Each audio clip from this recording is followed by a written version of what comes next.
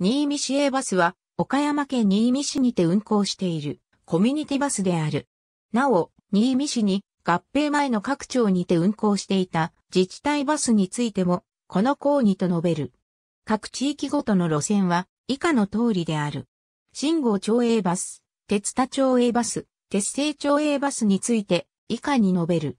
大佐町ふれあいバスのバス停遠隔路線以下5路線があった。信号町 A バスのバス停遠隔路線以下4路線があった。遠隔路線以下3路線があった。遠隔路線以下2路線があった。この他にフリー区間として以下の路線が週1回1往復で運行されていた。この路線は鉄製町福祉バスとして町営バスと別扱いになっていたが、運賃は町営バスと同じ150円均一だった。